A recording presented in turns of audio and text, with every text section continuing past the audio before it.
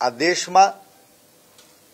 દરેક કોઈ પણ વ્યક્તિ હોય, કોઈ પણ વર્ણ હોય, કોઈ પણ વર્ગ હોય, કોઈ પણ ભાષા કે પ્રાંત હોય, વિવિધતાની અંદર એકતામાં ગૂંથાયેલો આ ગુલદસ્તો એણે એકબીજાના પૂરક બનીને ખંભે ખંભા મેળવી આ દેશને